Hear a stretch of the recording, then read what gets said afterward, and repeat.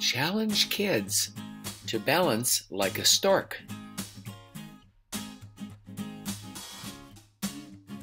Make the balance even more challenging by putting the hands atop the head.